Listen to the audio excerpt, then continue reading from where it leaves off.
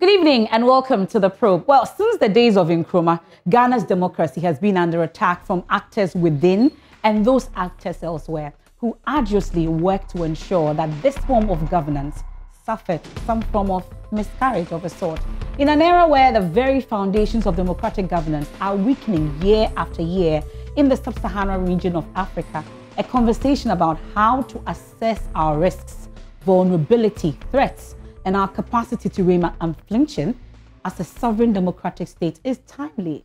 It's certainly time for us to take our security a bit more seriously. I'm talking about your personal security and that of our dear country. So tonight at this table, we have assembled some of the brightest brains to probe this issue intensely and understand how to counter the ever-present threat of violent extremism in Ghana, West Africa, and the world as we know it. Tonight on The Probe, do feel free to contribute as well via all our social media platforms because we are live on YouTube, we are live on Facebook, on Twitter, also on WhatsApp. You can send your messages. As always, the probe is live on the Joy News channel. We're on DSTV channel 421, GOtv channel is 144, on Joy 99.7 FM on your radio. We're also live together with over 30 affiliates across Ghana's 16 regions. Also live on myjoyonline.com, Spotify, and other social media platforms. Welcome once again to the probe.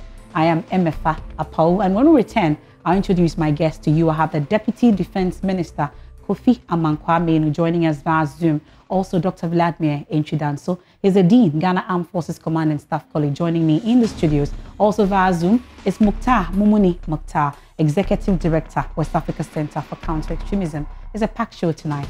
Get ready and let's talk about our security as a country. Do stay with me. I'll be right back.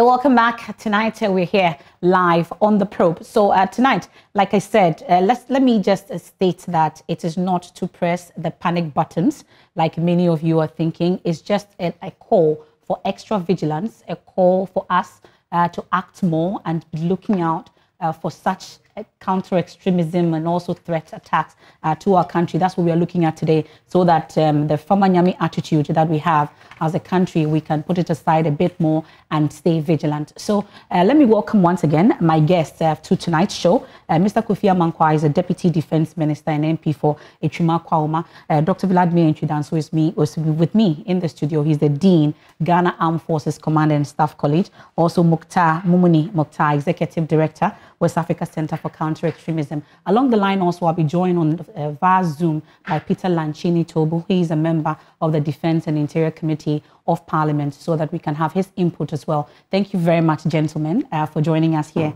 tonight on the probe. You're welcome.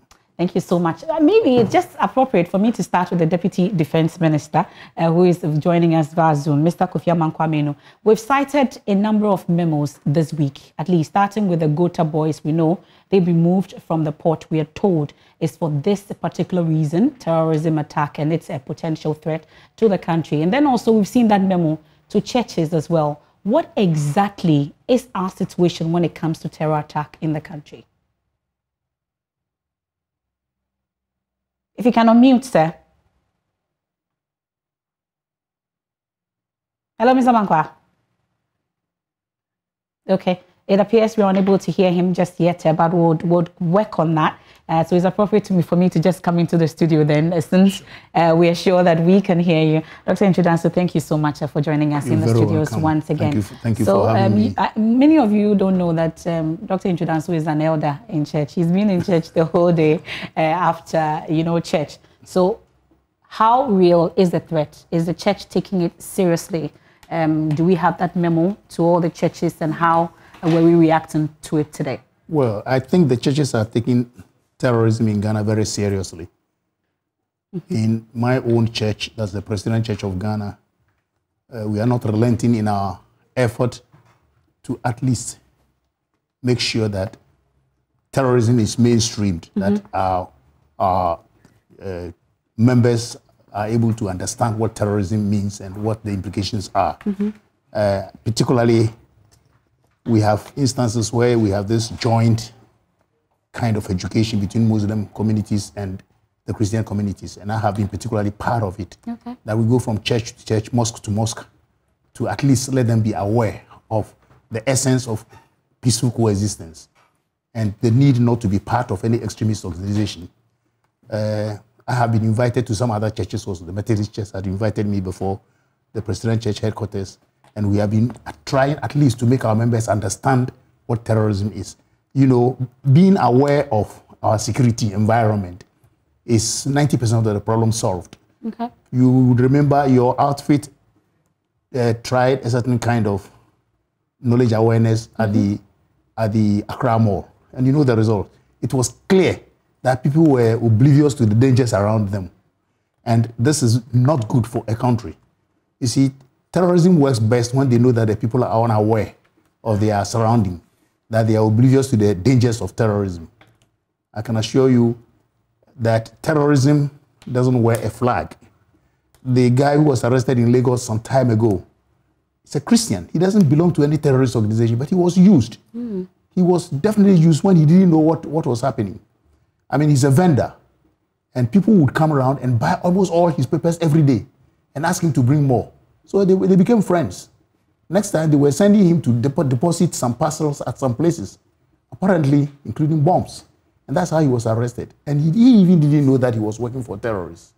These, uh, this awareness, for example, if he were aware about the presence of terrorists uh, in camouflage, he would have been very more, more careful about how to deal with people like that. Mm-hmm. Or the very fact that somebody comes and buys your newspaper that you are selling, you have 3,000, and he buys all the 3,000. Bring me 5,000 the following day, and he, he buys them. You mm think you are making money. Yeah. But you should be thinking beyond that. Over here in Ghana, we are not very much aware of terrorism at all, and that's that's a source of worry.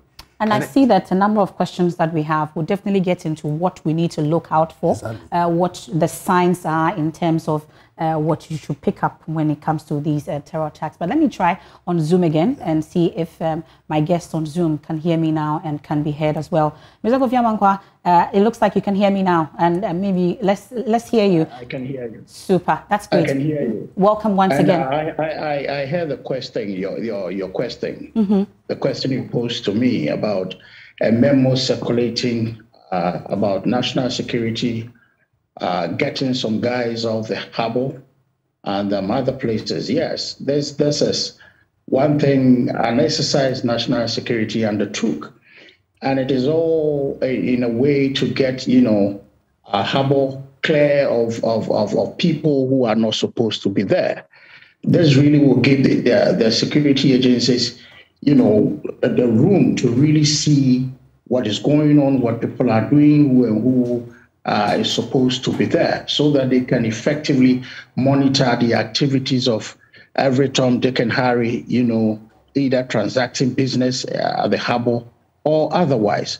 So, yes, all these things are done because uh, the issue of terrorism, it's, it's something which we, we have to, uh, as a country, take seriously. Because if you look at the activities of, of, of these armed groupings or uh, extremists, they are fast moving southwards. Not too long ago, just uh, I think uh, on the 11th of April, thereabout, or uh, yes, there was uh, Togo was hit. Mm-hmm. And that was serious. If, if, you look at the, the modus operandi of these um, uh, groupings, they are now coming up with sophisticated uh, ways of doing things. And so we cannot sit and fold our arms thinking that all is well. All is not well. And so we need to prepare.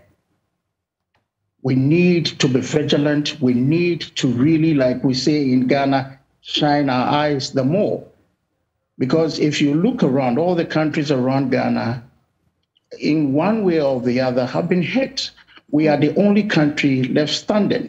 If I say the only country left standing, talk of Burkina, they've been hit. Talk of Togo, Benin, Nigeria, Burkina Faso, Mali, Niger. they've all experienced this bitter appeal from these uh, extremists. And when you look at the, the, the southward movement of these groupings, clearly one thing is obvious. They are looking to find a coastal country. And so Benin, Togo, and then Cote d'Ivoire. And so we in Ghana must begin to, like I said, shine our eyes and then really uh, uh, uh, uh try to fight this this this crime. I call it a crime. Of course, it is a crime because when you have people killing, maiming, and, and destroying properties, definitely that is a crime. And so, yes, the security agencies are really preparing the ground so that they can have the room to really uh, operate effectively. And so, yes, that, that is uh, the, the, the memo you, you are talking about. Okay. Well, there are questions about these Gota boys, so to speak, that you're moving from the harbor uh, to be able to do this kind of um, operation how prepared they are, how resourced they are to be able to do it are some of the questions I've seen. We'll get into the audience questions shortly, but uh, the issue about Ghana being the only country standing in the middle when it comes to these attacks, we know that Mukhtar Mumuni uh, Mukhtar raised that in his uh, recent report. Uh, Dr. Antwi Danso raised concerns about parts of that report, but Mukhtar is with us on it. How rife really uh, is this situation when it comes to terror attacks? On Ghana. You've been looking at this whole situation. Dr. Antwi will also make inputs on that. Mukhtar, let me bring you in on this. Hello, good evening to you and good evening to your listeners and viewers. Thank you for the opportunity.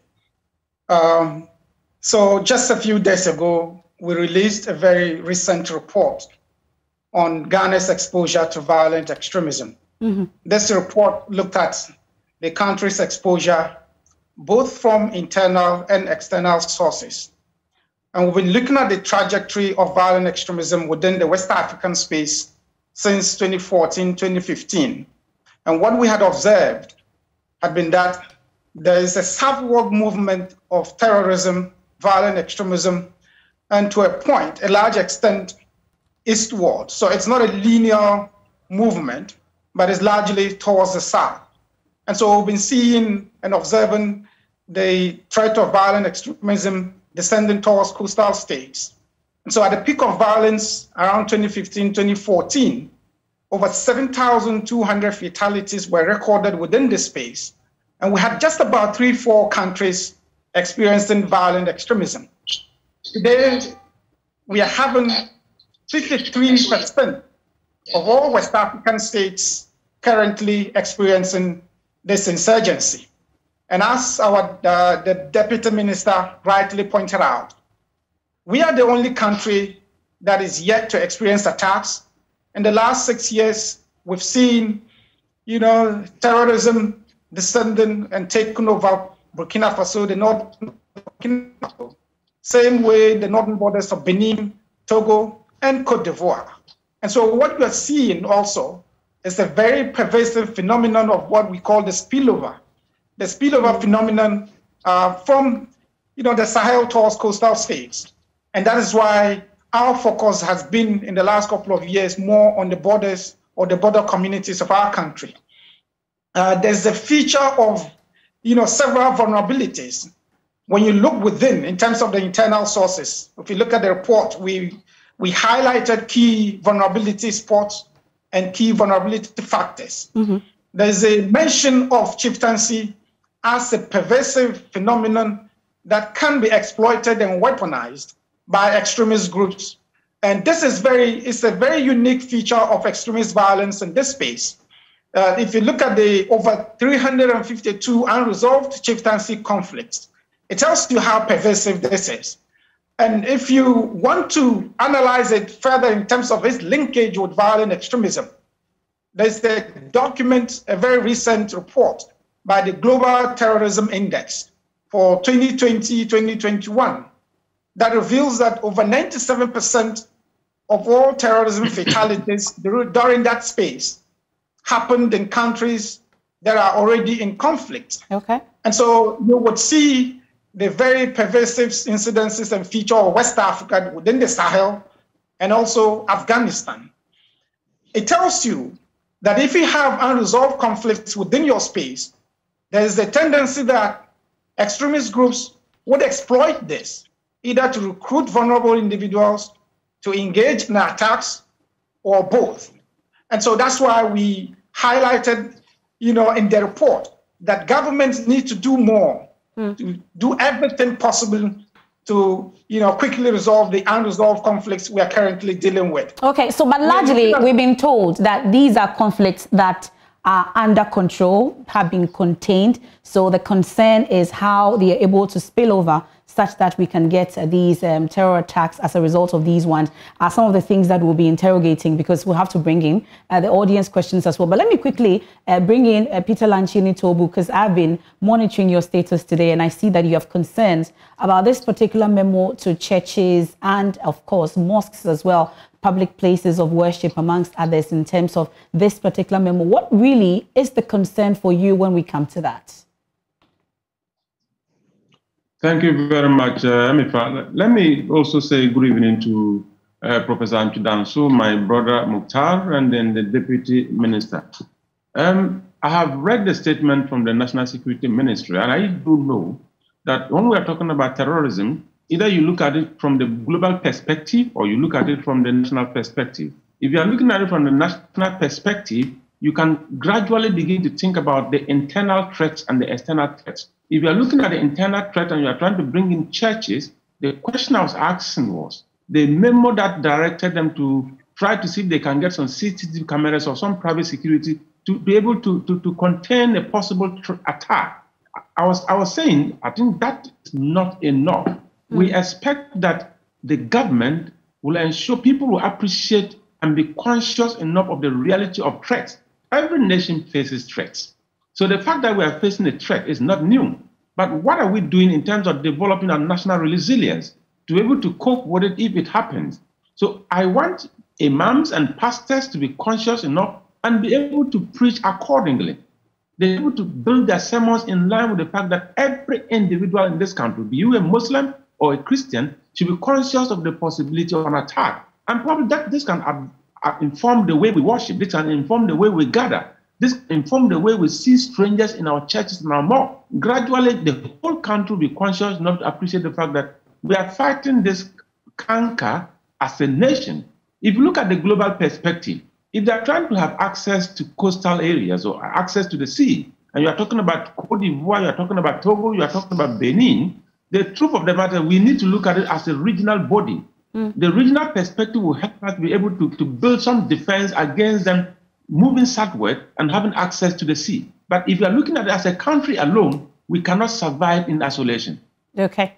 Well, let's then uh, get into the audience questions. Otherwise, we're leaving them out on this. National resilience is one of the issues that have come up. But once we get into the questions, all the other um, issues would get to be answered. So let's quickly get into it, Yao. If you're ready, let's start with um, this one on Facebook. This one from Robert. How real are the threats of terrorism for Ghana? Of course, we have seen a few in neighboring countries, but are we really ripe for one? That's Robert's question. Uh, Mohammed says, given how porous our borders are, can we stop any group that wants to cause harm to our country and our people? That's Mohammed's question. Uh, someone says, what is the government's briefing on the real likelihood that there will be extremist groups destabilizing our peace? Jack says youth unemployment has been cited as a major causal factor in some of these cases. We know our situation isn't that good. What are we doing to keep our youth busy? AC says, does Ghana have the capabilities in terms of military awareness, personnel, and equipment to foil such attacks, if any? Uh, that's uh, the first batch of questions. I know we have a number of them, so we'll run through them. So um, let's start from you, Dr. Antwi Uh, I see that you've been nodding all through. The issue about national resilience have come up. Uh, the question about how real the threat of terrorism for Ghana uh, has come up. That's uh, a few of the questions that we, we've gone through. You've heard the questions. Let's hear your thoughts on it. Well, generally speaking, terrorism is real everywhere and anywhere. Mm. Um, my colleagues mentioned 2014, 2015. These were the heightened years of terrorism all over the world when a lot of atrocities were committed. And if you watch, 70% of all terrorist attacks in Africa happens within the West African sub-region. And that shows that it's real. Mm. More so if, if you research into terrorism acti- terrorist activities, you see that the downward trend that we're talking about is real. Quite recently, as the minister said, there had been attacks in Togo, especially the tri-border areas. In Ghana, tri-border means uh, an area where two, three, three countries meet. Okay. So we have uh, the trend is coming down from Burkina Faso very seriously. I think the last time they attacked, it was some few kilometers away from our borders in the north. The government has tried to put FOBs, that is forward operative uh, uh, battalions, but that is not enough. No terrorist comes with a flag uh, entering a border, and people talk about the porosity of our border. There's no country which has no porous borders, even the USA. You can't wall your borders throughout. The only thing is that if you have ungoverned spaces, spaces where government is not felt, where there is nothing government going on, where the inhabitants are the ones who are ruling themselves, then terrorists find ways of being part of the governance system over there. Boko Haram sprang up just because of such a system, that ungoverned spaces. In Mali is the same. So yes, porosity of our borders, they are real, but then that will not be a way why terrorism will come to Ghana. Okay. It is only a way where terrorists can, can settle, especially when there are conflict areas over there. My brother from the uh, WCC mentioned it. That obviously, if you allow such spaces, they settle in there. And in Ghana, if we don't allow such, see, we take preventive measures instead of trying to say that we have a battalion waiting. Who says that they will come through where the battalion is? I mean, they try to get a fertile ground. In Ghana, I've been preaching against or preaching on the question of un- ungoverned spaces. And one is uh, dollar power. Yeah. If people know what we talk about, dollar power. But if we allow this uh, uh, indiscriminate use of force over there by the people who have occupied the place to continue, terrorist organizations will find space there and settle there. And again, as uh, uh, one of my colleagues said, you know, where there, is, there are disputes, unresolved historical differences, communal differences, when they are unresolved, the terrorists can find place and find friends amongst them and they can settle. So we must make sure that most of these conflicts that dot our, our, our landscape, especially my research shows that there are 74 unresolved hotspots in Ghana. And he talks about 350 chieftaincy disputes.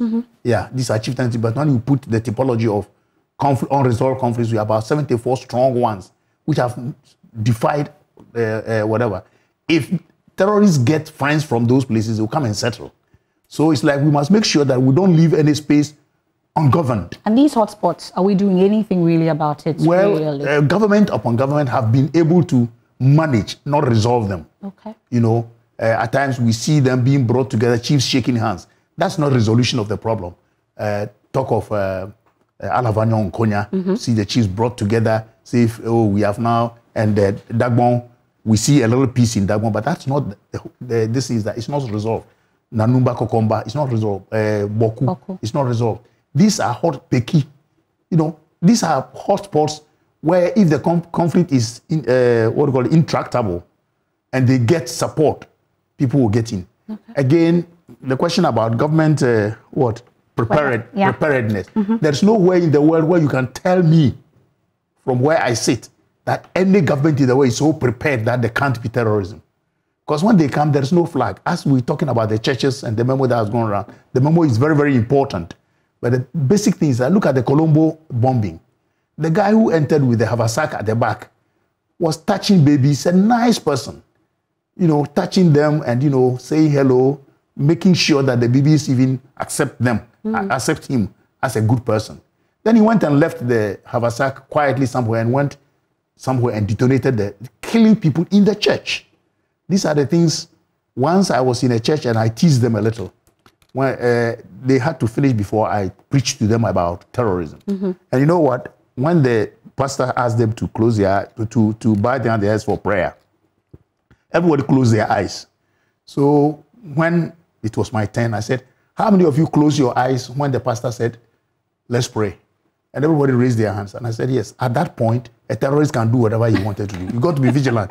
the man said, Let's pray.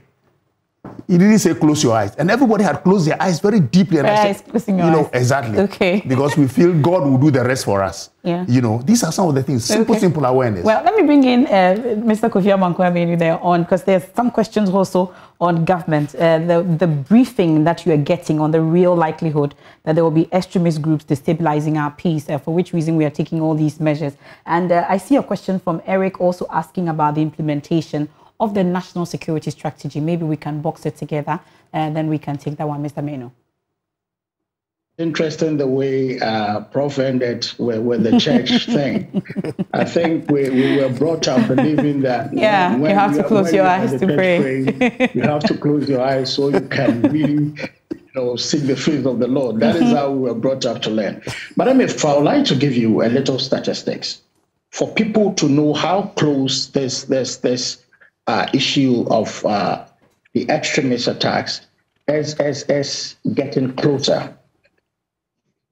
In the month of April 2022, I am talking of just last month, there were about 48 terrorist attacks or terror related incidents reported in the West African sub region. And I would like to give you the breakdown. In fact, as a result of these attacks, we had about 323 people uh, being killed and then 193 being injured. I want to give you the breakdown in the various countries. If you take Burkina Faso, which topped the chart, they had 22 incidents of uh, terrorist attacks or terror-related attacks, out of which 74 people were killed and then 75 people injured. We share border with Burkina Faso. You come to Mali. Mali had 13 incidents of attacks, 26 people killed, and then 25 injured. You come to Nigeria, eight attacks, 198 people killed, and then 68 people injured. You come to Benin, and then Togo, one, uh, killed eight, and then injured 14. These are countries we deal with. For instance, you take uh, Togo. I mean, for the very first time I went to Togo, I did not go through the main border. I went by a footpath to get to Togo. That shows you how porous our borders are. And so, if you have all these neighboring countries experiencing this this this uh, uh, heinous crime from these groupings, you know, it is so easy for people to enter and go. They will come in anytime and do whatever they want to do. Prof mentioned the issue of, of the forward operating bases, the FOBs. Currently, government is constructing 15 of them across the northern uh, borders of our country because we have realized, or intelligence have shown, that most of these activities is coming from the Sahelian regions, Burkina, because if you if you look at what happened in Togo, this uh, the, the group that undertook this this this act, uh, act were the is it the Janin J N I M. These are the uh, Jamaat Nusrat Al Islam Ul Muslimi. This is the group that commit, and they come from Burkina. And so we are having to experience that most of these activities or most of these groupings uh, engaging in this activity are coming from Burkina. Here we have a porous border. It is, I agree with, with Prof that yes, we cannot, you know, build walls around our country. We simply cannot do that. But what is it that we can do? I am aware that government is spending a lot of resources into acquiring all whatever we will need to really uh, uh, resource our security agencies. The, the, the intelligence agencies are being resourced, the armed forces being resourced, the police, immigration. It is, it is a collective. One thing really, Emefa, I want to talk about, and that is the reason why, you know, we are kind of uh, reaching out to the churches, the mosque, and all that to be vigilant. These uh, activities are normally undertaken in areas where we have, you know, uh, a lot of people mm-hmm. coming together to undertake whether uh, church or whatever it is. That is where this crime, because really, if they go to kill just a person, well, nobody will wish that a Ghanaian will lose their life by by by you know through this activity. But I don't think they will come and then just kill a person or, or, or two. They will not really get the traction they want. And so the, the, the, the, the activities are concentrated in areas where we have people coming together to undertake. And so, yes, you have to kind of talk to, you know, reach out to, to such areas such as uh, churches and mosques. Well, oh dear, it appears that the network uh, for Mr. Kofi is failing us there, uh, but um, he's actually making the point. But the issue about, do we have him back? Is Hello? Right? Yes, uh, we lost you briefly. Uh, if you could wrap up on that, because there's a question also on youth unemployment, which has been cited, and what exactly we are doing to keep our youth busy is one of the issues that have also come up. Yeah. If if there is one moment that Ghanaians can collectively, citizens and not spectators, this is the time.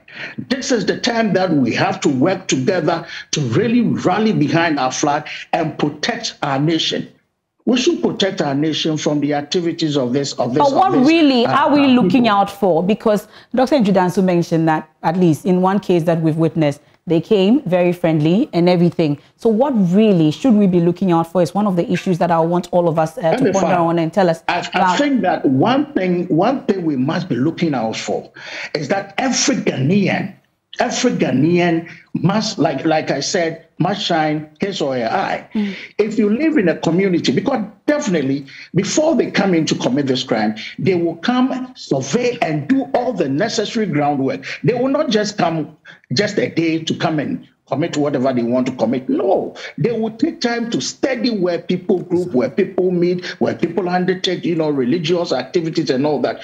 And so, in our communities, if we see any unsuspecting characters, if we see people whose activities we, we really do not understand, immediately we must report to, to the security agencies for them to, to do whatever they have to do. You see, you may see a person being so nice. For instance, if you go to my village, everybody knows everybody. Mm. And so the very moment you come there, at least people will begin to know there is a stranger in town, and then they will begin to monitor your activities. This is the time we have to come together as Ghanaians to protect our land from the activities of this of this uh, uh, bad-minded people. But, okay. but honorable. Mm-hmm. Uh, the most important thing in this aspect is not just merely mentioning that we should shine our eyes. There must be a conscious effort in making the people aware that we should shine our eyes in the first place. Again, our security agencies should not should not actually work in silos. Mm-hmm. Intelligence is the biggest weapon against terrorism because they are always one step ahead of whatever you have. Look at the Nigerian army of close to about 200,000, and they cannot defeat Boko Haram of 3,500. It's because intelligence is not working properly, and uh, the corruption and other issues within the society are not making it possible for Boko Haram to be routed. So over here, if we want to shine our eyes, people must be made aware of terrorism, uh, what I call mainstreaming terrorism. And you said one thing very importantly. They are not coming to kill one person and get the fame for it. Terrorism today thinks about lethality, how lethal they are, and they claim uh, uh, they claim uh, uh, uh this thing for it. And then it's becoming more ideological in terms of religion, mm-hmm. more ideological. It's now cellular. There is no hierarchical order anymore. That you know the head is Al Qaeda here, Look at the West African sub-region. We have about six, eight of them differently. ISWAP, ISGS, Jenim, you mentioned, and several of them, Al-Qaeda in the Maghreb. So we must be made, people must be made aware of such uh, modus operandi of the, of the terrorists. Other than that, we're all believing that, oh, security agencies are there. And if the security agencies are also working in silos, Honorable, we are not going to get anywhere. Uh, Doc, if there is something I'll bring to the attention of our listeners, in fact, we have the Focus Center. That's right. Okay. The Focus Center has been going around the country trying to educate people on the need to be vigilant. Mm-hmm. Maybe we need to we need to step up uh, or we need to do more. We need to do more. I agree perfectly well that we Must need to do more. schools. So their, their, one their thing- presence thing- will be felt. We are told about schools, for instance, because the issue also is how lucrative this venture is. Very lucrative. Because once they Very get fine. hold of our youth, it's very lucrative. Are we doing Very fine. such that we can prevent that from happening? Emefa, mm-hmm. there is something again I would like to draw our attention. If you look at the modus operandi of these characters now, especially what happened in Togo, there is something we really have to avert our minds to. They have now resorted to the use of IEDs, Yes. improvised explosive devices. Yes. If you look at what happened in the Togo, they actually constructed a secret minefield just to stall the reinforcement of the Togolese security forces. So these guys are getting more sophisticated by the day. I agree that we need to step up. Every Ghanaian, being it a child, middle age, or old, must be educated on what to do you know, in times like this, because every the sub-region is at risk. Ghana is part of the sub-region, and so we are all at risk. And so I agree perfectly well that yes, we must take the education to schools. We must take the education to our marketplaces. We must take the education to our churches, mosque, everywhere.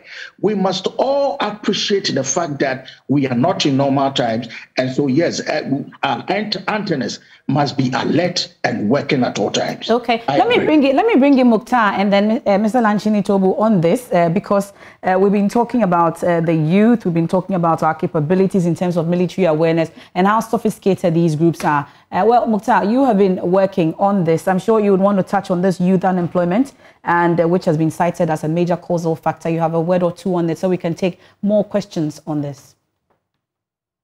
Well, yes, of course. Uh, if you look at the role of youth unemployment, it's a huge, huge thing in terms of its feature and uh, extremist violence within the sub-region.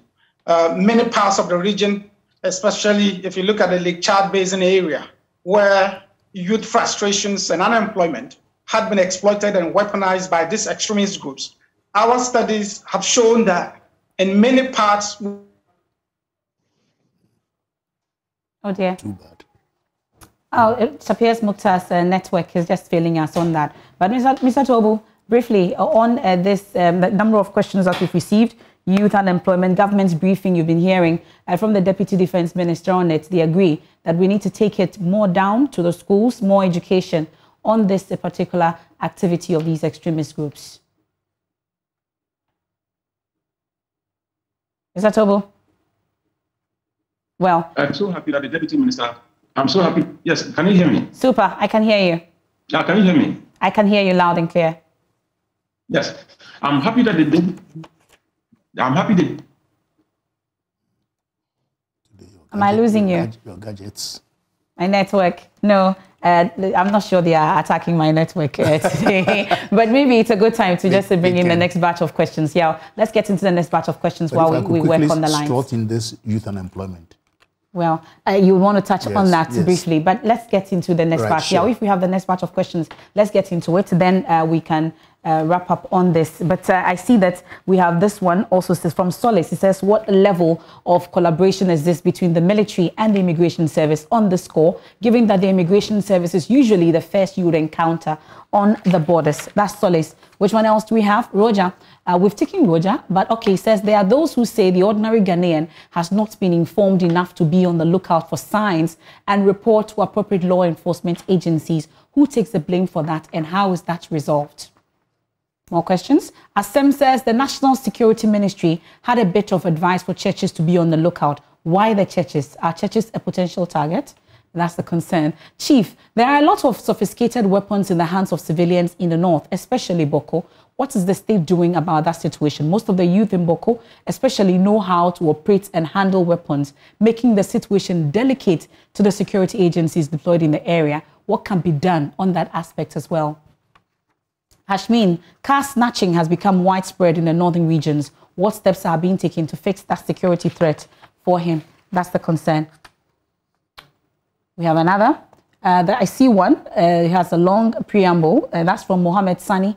Uh, if we can add that quickly, then we can wrap up. Uh, as it is espoused in the case of Russia-Ukraine annexation and aggression, almost every Ukrainian speaks a Russian language. For him, the question is, a language, is the language a new tool for conflict? Should Ghana be worried about parts of the Volta, Upper East and Western regions where most of our citizens speak French but are native Ghanaians? How do we as a country deal with the Bawku conflict to deter terrorist invasion? And that's Mohammed Sani's question. He's a research and policy analyst. Maoli says, why is Ghana facing these threats at this time? What in our geopolitics could make us a target? Is it just our proximity to areas suffering extremism or something so peculiar? Uh, so a number of them. Maybe we start from the studio. At Yao, uh, we rectified our uh, lines on Zoom. Let's let's try uh, Mr. Toobu, and then we can get into this batch of questions. Mr. Toobu, you are making a point. Yes, Emefa, can you hear me? Very loud and clear, sir. You can go ahead. Did I lose you again? Great. What I was saying that I'm happy the deputy minister the fact that terrorism is fine, and if terrorism, can you hear me? Yes, I can. Right. If terrorism is a crime, let's begin to look at how do we handle crime in Ghana. That is the fundamental thing. When police are getting investigation, we ag- agree that prevention of crime is, is something that is so important in our national discourse. We need to prevent crime before about detecting it. We need to detect crime before we talk about investigating it. We need to investigate crime before we talk about prosecuting it. And the last phase of the criminal justice system is correctional centers. How are we correcting? There's a report from the Ghana Prison Service that says that about 80.3% of all people who had gone to jail from between 2015 and 2020 were under the age of 35. Mm-hmm. Our young people are being incarcerated. Our young people has the potential to be radicalized. What are we doing about that? So if we are talking about getting Ghanaians to be conscious of the threat of terror, we should be talking about a big concept of community policing, that the police must get, must get involved and let community get on board and let people be conscious. My experience in Israel showed so much that it is not the hard power of the Israel, of Israeli government that is of, of so much importance. It's the consciousness of the ordinary Israeli. I was in Israel in 2018 and with the national security minister, and he was telling us somebody drops a bag on the street. In less than three minutes, there's a report and the police are there. The citizens are so conscious.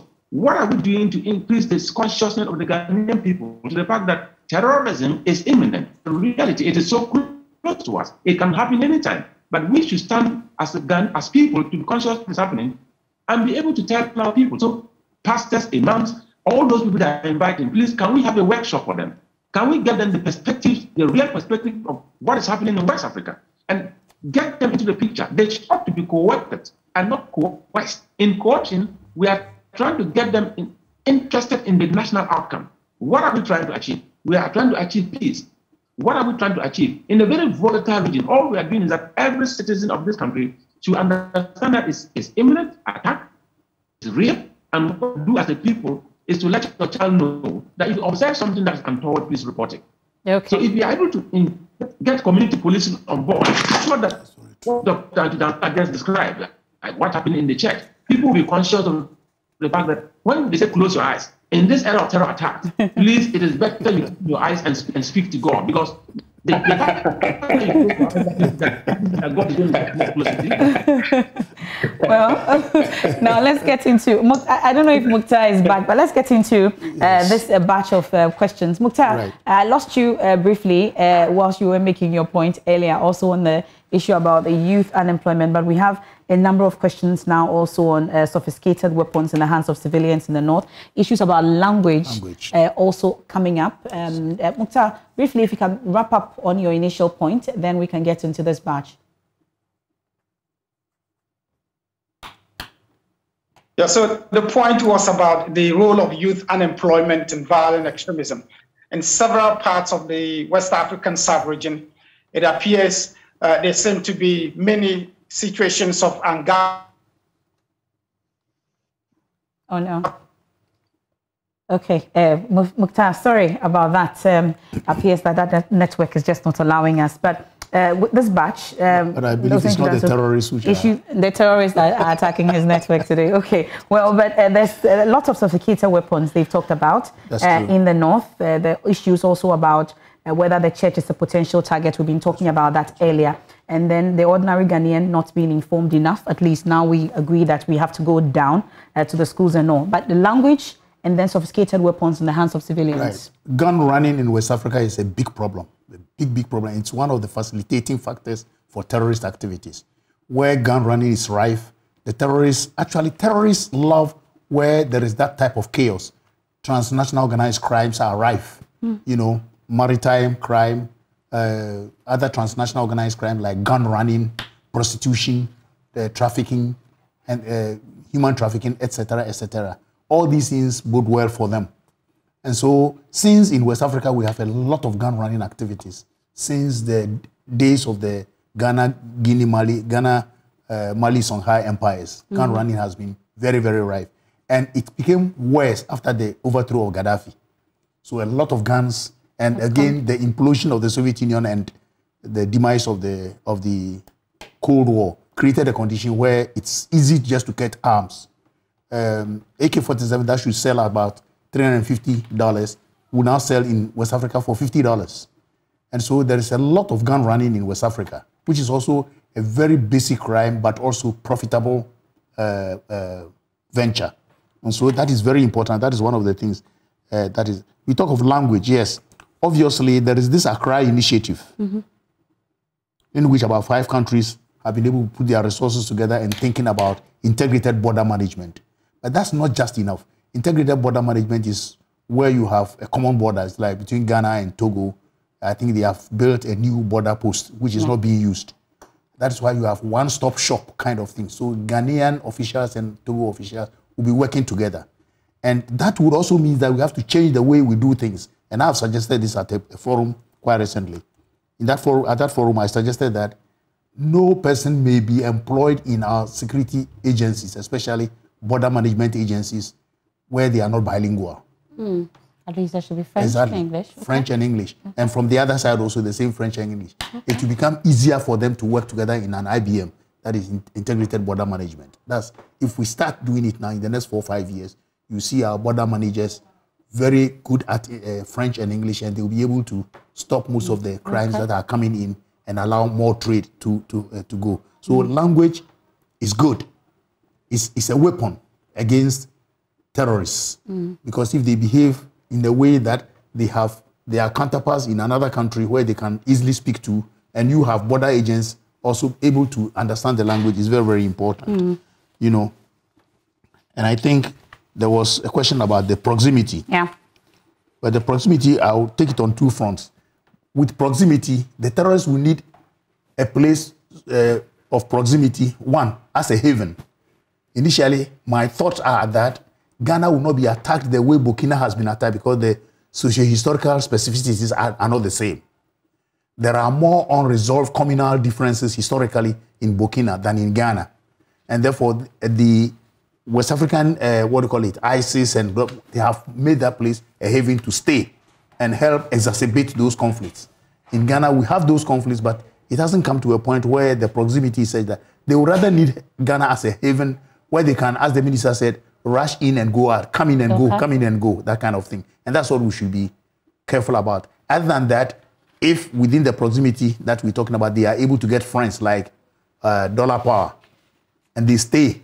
When they stay, they expand their territory, and they are a force to reckon with. And it's very even Dollar Power, we have not been able to conquer them. How much more ISWAP in West Africa gets the place as a this, mm. Okay, let, let me bring in um, Mr. Manu uh, on this. I've seen uh, the question earlier about the implementation of the national security strategy. I'm told uh, you haven't really uh, touched on that uh, for us. And then also the sophisticated weapons in the hands of civilians. Is there really something we're doing uh, specifically about that situation that you would want to speak to? I'm sure Chief uh, is asking. And then generally also Ghanaians seem to be taking care of their own security needs because they don't trust in the national security services. What does this mean for our democracy? Eric is also asking. Well, for that, that will be a worry if, if Ghanaians do not trust institutions mandated to really provide security for this nation.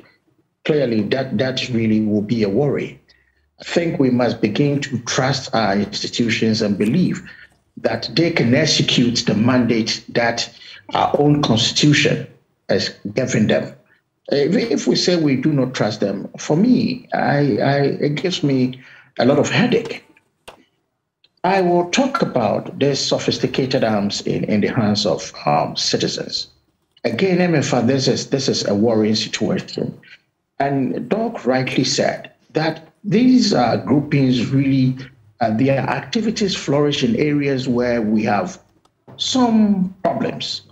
And so if you go to our own Bawku, where there's the, you know the issues in Bawku started with chieftaincy and all that, I can confidently tell you that as we speak now, the issues in Bawku, for me, is not really that of chieftaincy. Now criminals have taken over, and these criminals are using sophisticated arms. You see, some of these are, are extremists and terrorists. And Emefa, if you see the kind of things they use, you will marvel. Some of them use rocket propelled grenades yes. Hmm. and heavy weapons. This is serious. Where do they get Where them are from? They getting precisely the point. Now, Doc mentioned dollar power. And you know, that is why, for me, our fight against Galamsey is so important. Yeah. Because if you have ever been to a Galamsey site, you appreciate some of the things we are talking about, where you go and people are fully armed with AK 47 and other sophisticated. I'm just, is, is the idea just to protect what they are doing? You do not even know who and who. Doc rightly mentioned dollar power. Go to dollar power and see the kind of galamsey going on as measure to, to really, you know, I, will tell you a funny thing. Dollar power is not really accessible. Mm. Yes. It's not accessible. Yes. When I assumed office as, as a deputy minister, I was to visit dollar power. And you know what? I was to go with two helicopters. So whilst one is down, one will be up. And in fact, that was not a joke. You, you understand? The place is not accessible. Government is now making sure that all these places will be accessible. And so henceforth, we are going to put the 48th Engineer Regiment to very effective and good use so that it can open up all these places so we can, you know, assess these places to deal with the situation on, on our hands. Well, just uh, think, just so we wrap up, uh, it's almost time for us to go. But the concern is we have not been able to win the fight against terrorism. How then are we sure? What is the assurance that we can be able to fight terrorism um, as we are talking about now? Emefa, one thing Galamsey, I should say, Galamsey. Uh, we've not been able to win the fight against Galamsey. Galamsey is what I'm talking about. How are we able to do this when it comes to terrorism? Precisely the point. That is why I mentioned the fact that we as a country now, if we need to come together as citizens and not spectators, this is the time. We have to come together. No one person can do this, but collectively, I believe that we can we can achieve or fight or need these activities in the bad. And so it, it is it is an issue or a problem where we all have to have the mind set to really fight to succeed. If we don't, then our countries trust me, we'll be overrun by this this this this criminals. Mm. There is one thing. Uh, I think somebody mentioned something with regards to churches. Yes, whether they are really obvious. a target. Mm-hmm. It is obvious that these people, you know, undertake their activities in areas where you have a, a congregation of, of, of, of a huge number of people. And of course, sometimes when you go to a church service on, on Sundays, you know you have a good number of people there. And that is what, if they are able to strike such a place, then they will get the traction that they want to. So not just the churches, but um, you know, malls and all that are places that we have to be on the on the lookout. Okay. Well, I give the final word to you. It appears that Mokhtar and Peter Lanchene's lines they have failed us um, at the latter part. But just before we go, uh, Dr. Antwi Danso, the issue about the real threat and uh, what each of us have to do uh, to be able to fight this? Terrorism is a reality. It's not going to die today. In fact, we are in a century of terrorism. West Africa is so rife for terrorism. As mm -hmm. I said, 70% of all terrorist uh, activities in Africa is in West Africa. now they have been able to capture almost all the countries around us. Mm-hmm. If they capture any uh, coastal country, they link up with the maritime terrorists also. And it's a global thing.